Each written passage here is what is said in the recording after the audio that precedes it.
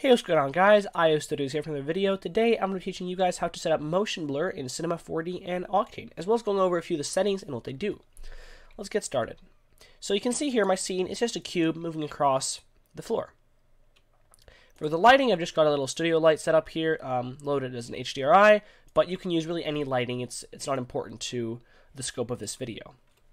So we have this object here. Now, the first thing we want to do is we want to pick everything that we're going to um, want motion blur on and you know in this case just the box. So we're going to click on the box, right click, we're going to go C4D Octane, add an Octane object tag.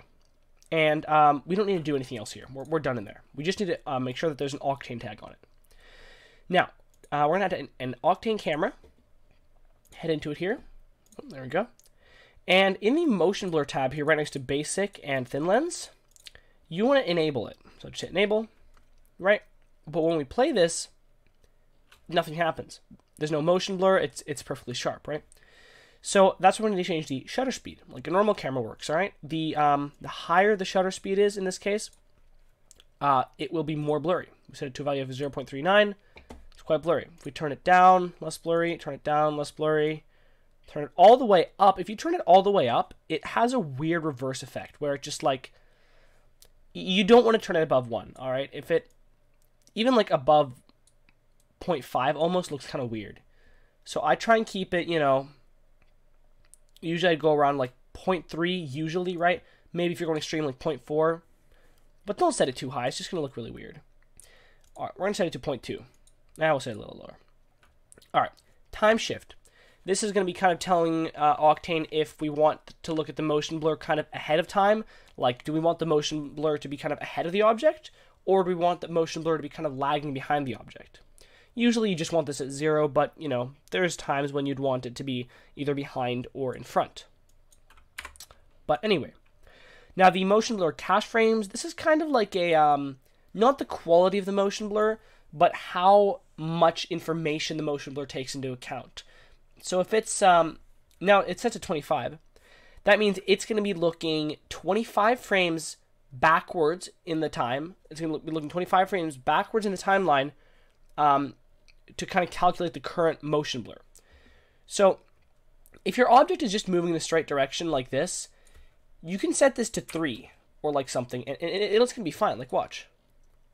I mean, this looks just fine. There's really no problems here. I mean, even turning this up all the way to like, crank it up to like 38, it doesn't have any benefit.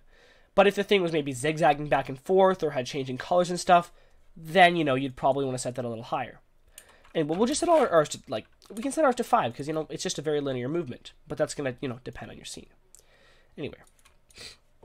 Shutter alignment. Um, now, this is, again, not very, you usually don't want to change this. It's kind of like the time shift. Um, before, centered, after. Uh, before is going to have, like, pretty much the, the most realistic motion blur. Um, you can play around with these. I'm not really sure their purpose. But just set it to before and it'll be fine. Now the final setting here, disable camera motion blur. Um, basically what this is, if we keyframe our camera right here, right? Let's say I keyframe the camera to move, right? We set up our, our camera right here. Keyframe it there. Keyframe it there. Camera moves across the scene. Now what you're going to notice is that the edges here are blurred, right? Because even though this object, the floor is not moving, the camera is moving relative to the floor. If you want to disable that, you can enable that. And what that will do is Octane will not consider how the camera is moving. And it'll only consider not it'll not consider how the camera is moving relative to other objects. It'll only consider how other objects are moving relative to themselves. So this floor is not moving, we're not going to blur it. This cube is moving, we're going to blur it. This is very useful. I usually disable camera and blur because if I want motion blur on an object, I choose to do so with a tag, right? You know, if I'm moving my camera, I don't want everything in the scene to be blurry. Um, so that's why, for the most part, you want to probably uh, disable that. Anyway, um, that's pretty much it. There's no really quality slider for the motion blur other than the uh, the cache frames, but like Octane does a really good job of motion blur. Um, it does it very quickly. It, it almost doesn't render any slower than the shadow, even. So, like, yeah. Octane Motion Blur, very powerful tool that you definitely want to understand, and you know just play around with it. Use different objects, different settings, really get a good feeling for how how it affects the scene and stuff. But um, yeah, without further ado, I'm going to end this tutorial. I hope everyone enjoyed, and uh, have a good day. Bye.